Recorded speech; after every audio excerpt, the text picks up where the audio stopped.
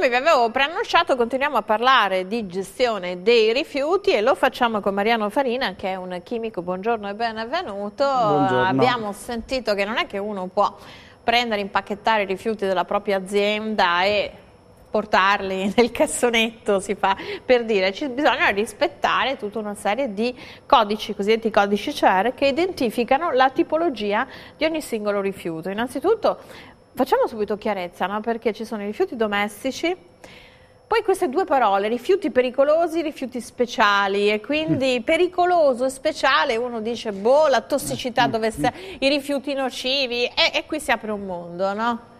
in realtà le cose sono un attimino diverse, e cioè i rifiuti sono divisi in base alla loro origine in domestici e in rifiuti speciali. I rifiuti domestici ovviamente vivono, eh, derivano dagli ambienti di vita di tutti noi, i rifiuti speciali invece derivano dalle attività produttive. Poi, in base alle caratteristiche di pericolo, tutti i rifiuti, sia quelli domestici sia quelli speciali, sono divisi nella categoria dei non pericolosi e nella categoria dei pericolosi. Quindi dobbiamo sottolineare che anche rifiuti, alcuni rifiuti che produciamo in casa possono essere pericolosi. Assolutamente Penso, sì. non so, alle bombolette spray. Pensiamo alle bombolette. Perché uno pensa, Pensiamo... lo butto, no, le bombolette spray vanno conferite nell'ecocentro, in quelle isole certo. specifiche, non è che le possiamo o buttare in, in cassonetti di... per rifiuti urbani pericolosi. Eh, pensiamo anche ai residui di acido, eh, ai residui di ammoniaca, che sono quelle cose che eh, la massaia usa per pulire casa e che in realtà sono pericolosi, sono anche poi si apre qui un discorso anche della pericolosità degli ambienti di vita domestici, eh, però questi sono effettivamente rifiuti pericolosi e in quanto tali devono essere gestiti. Tra l'altro se non sbaglio il barattolo dell'ammoniaca perché finisca nella plastica va lavato, altrimenti ci può eh, essere un residuo di pericolosità? Assolutamente eh. sì, assolutamente sì. Quindi no, il, eh, residuo, il residuo del prodotto pericoloso rende pericoloso anche l'imballaggio. E non va messo nel cassonetto normale, perché spesso magari non trovando nei vari cassonetti, nell'elenco del calendario che mm. ci manda il comune il riferimento, diciamo buttiamolo nel secco, no? Perché ci sono, no, no, eh, magari uno, no. troviamo qualcuno che butta nel secco un frigorifero, in mm. realtà per fortuna il secco ha una, ha un'apertura molto limitata e quindi uno si ravvede, mm. però magari qualcuno ci butta un phon, adesso io faccio delle, delle, delle, dico delle cose parossistiche ma le ho viste. Mm, certo, eh. certo. Purtroppo da una parte c'è una carenza di informazione, ma una carenza anche di volontà da parte del pubblico. Noi dobbiamo tutti pensare che siamo tutti produttori di rifiuti perché eh, nella nostra vita abituale comunque produciamo dei rifiuti, smaltirli ha un costo sia in termini economici ma anche in termini, di, eh, in termini ambientali e quindi tutti noi dobbiamo fare la nostra parte in maniera da ridurre da una parte i problemi per l'ambiente e, come diceva l'ospite che mi ha preceduto, ne avremo anche un vantaggio dal punto di vista economico. Codici CER cosa sono e come sono, sono sempre più stringenti nel passare del tempo, le nuove normative nu sono più specifiche, aggiungono codici? Allora sì, le nuove normative sono sempre più stringenti, cambiano con una certa frequenza e quindi ci sono tutta una serie di problemi di interpretazione. I codici CER, e CER sta per Catalogo Europeo dei Rifiuti, sono un sistema per riuscire a catalogare le varie tipologie di rifiuti e quindi ricondurli all'interno di statistiche che vengono fatte dai vari stati. Quindi all'inizio i codici CER erano nati per motivi meramente statistici. Poi invece col passare del tempo si è dato a questo sistema numerico un'importanza sempre maggiore e quindi adesso si parla di codici CER mh, cercando di fare una identificazione del rifiuto che è collegato a questo sistema numerico. Per decodificare no, il rifiuto mm. che uno ha in azienda, è necessario avvalersi di consulenti, perché lei parlava di problematica interpretativa, no? Certo. Quindi serve qualcuno che sappia fare una sorta, mi passi il paragone un po' improprio, di expertise del rifiuto, in modo da capire che rifiuto è e come va classificato, come va imballato, come va trasportato, come va conferito, perché poi ci sono vari passaggi. Ora, in realtà questo tipo di attività che è assolutamente uh-huh. necessaria e propedeutica poi alle fasi successive di trasporto e di smaltimento o recupero del rifiuto può essere fatta anche all'interno dell'azienda, cioè non è strettamente necessario avvalersi di terzi. Indubbiamente però Bisogna all'interno dell'azienda so ci vuole ci qualcuno t- che ha studiato la normativa eh, si mantiene aggiornato anche grazie alle associazioni che in questo senso fanno un'opera meritoria e quindi è in grado di interpretare le norme e adattarle alle specifiche situazioni aziendali. Perché se non ricordo male lo stesso bidone con dei contenuti, con parziali contenuti. Eh, certo, cioè, può avere un seconda, codice diverso. Ecco, può, può essere da innocuo a pericolosissimo. Cioè... Mm, sì, sì, sì. Ah. Sì, sì, a seconda di quello che c'è dentro un contenitore, ovviamente cambia la possibilità di attribuzione del codice CER e cambia anche la pericolosità, perché se abbiamo solo un bidone pulito sarà un imballaggio probabilmente non pericoloso. Se invece questo bidone è pieno di residui di vernice, di residui di solventi o residui di oli minerali, è chiaro che questo contenuto attribuisce una pericolosità a quel rifiuto e quindi sarà diverso il codice, sarà diversa la classificazione di pericolo, sarà diverso anche il sistema di gestione fino al punto finale di smaltimento. Bisogna fare anche delle analisi del, del, rifiuto per capire se, se può esplodere o, oppure ci sono delle prove, no? dei test per sì, valutare sì, sì, la certo. pericolosità del rifiuto. Questo chi lo fa? L'imprenditore formato? Si avvale sempre comunque perché è un mondo molto complicato se non sbaglio, ho visto dei libroni che sembra sì. proprio, le, lei è un chimico, ha tutte le formule chimiche no? che poi si intersecano, la tavola certo. degli elementi è una semplificazione che poi applicata diventa un, uh, un alfabeto che, che, che, produce tante parole, tanti linguaggi, tanti discorsi anche certo. in chimica. Assolutamente.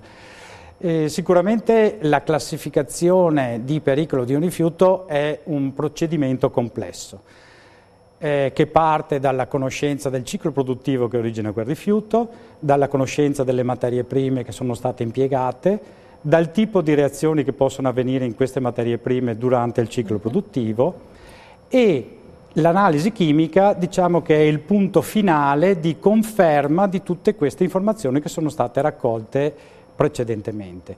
Quindi non c'è solo l'analisi, c'è tutta la conoscenza che deve stare a monte di questo processo di classificazione e l'analisi è la conferma. L'analisi permette di identificare e di dare le concentrazioni dei vari componenti del rifiuto e in base alle conoscenze delle caratteristiche di pericolosità che sono attribuite a questi componenti stabilire qual è la pericolosità da attribuire a quel rifiuto. Ora, quest'ultimo passaggio dell'analisi chimica difficilmente può essere fatta in uno stabilimento di produzione, a meno che ovviamente non sia uno stabilimento uh-huh. che ha al suo interno Vabbè, del, un laboratorio, laboratorio chimico, chimico attrezzato, uh-huh. ehm, se no ovviamente bisogna rivolgersi a strutture terze. Siamo, il tempo vola via molto veloce e, mh, lei parlava di una, dei codici CER nati per una funzione statistica, sì. poi sono mm. diventati una eh, certificazione operativa mm. di, e una classificazione oggettiva eh, del rifiuto. Si può pensare, visto che si è sempre più eh, si conoscono sempre di più i rifiuti, no? non vengono accatastati così senza criterio, ma c'è una specifica conoscenza. Pensare anche di produrre sostanze, materiali che un domani sono rifiuti meno pericolosi eh, e quindi più ecocompatibili, più ecologici possibili?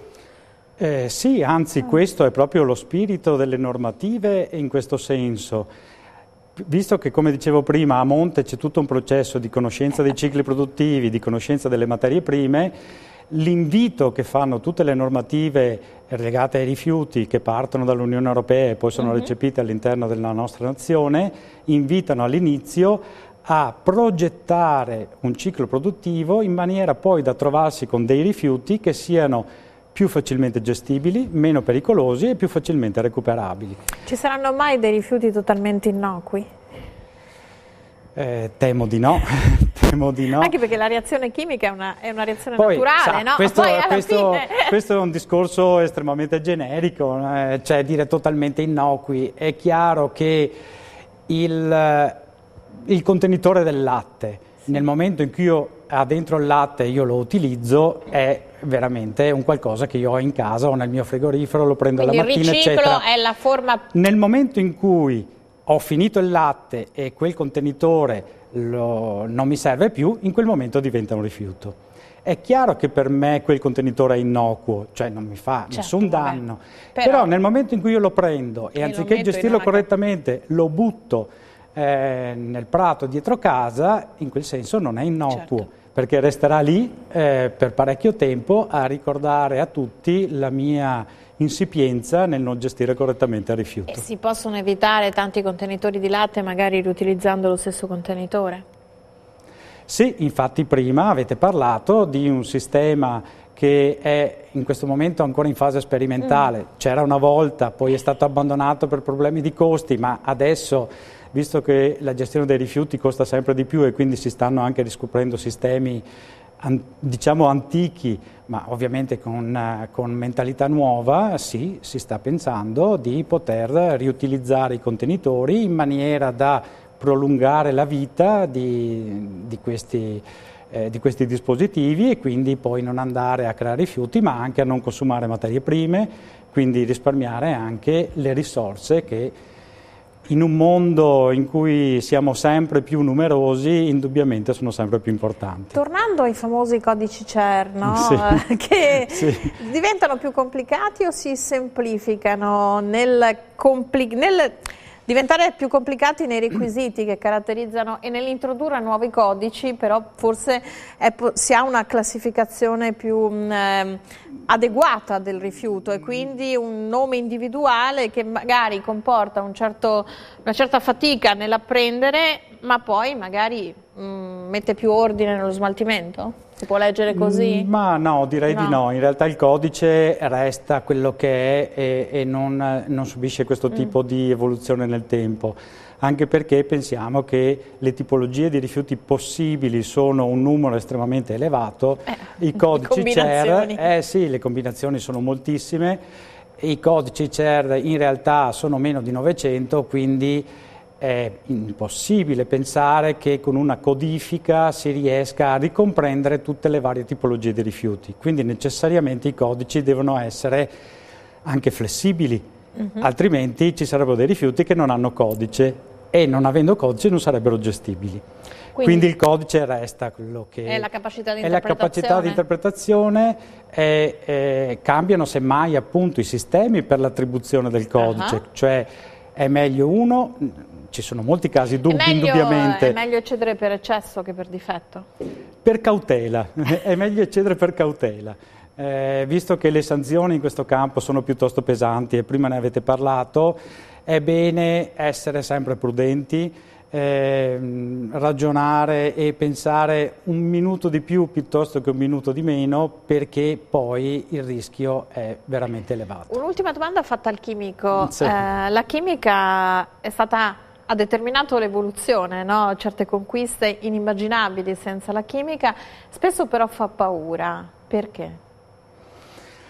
La chimica fa paura perché ci sono stati tutta una serie di incidenti eh, nel corso della storia, ehm, pensiamo a Bhopal in India, ma pensiamo anche a Seveso vicino a noi, che eh, hanno colpito eh, l'opinione pubblica e hanno fatto effettivamente dei danni assolutamente eh, pesanti eh, in termini anche di vite umane. Quindi la chimica, se non correttamente gestita, costituisce un pericolo. Dall'altra parte però è proprio la chimica che può permetterci di superare alcune difficoltà e anzi trovare quelle soluzioni che permettano domani di vivere meglio in un ambiente migliore. Io ringrazio Mariano Farina con questa sintesi, ringrazio voi per questa prima parte di trasmissione, torniamo dopo la pubblicità con altri temi, altri argomenti e altri ospiti ovviamente. A più tardi, grazie.